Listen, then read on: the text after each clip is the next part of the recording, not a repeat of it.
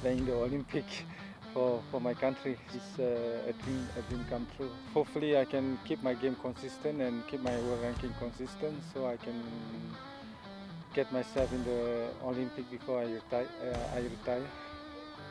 It's always nice to win in your in, in in your own country, you know, your home crowd.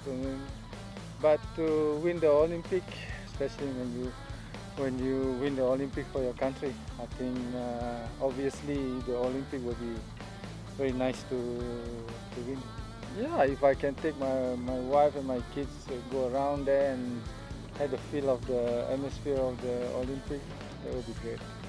Yeah, I was I stayed in the Olympic Village once when I played the Asian Games. You get in the village, you see all the athletes around you, and you see all the sportmen around you playing any type of sport. So I think even you have money, you can't go there and, and stay. You know, so this is there, there will be a very good good feeling to, to get in there.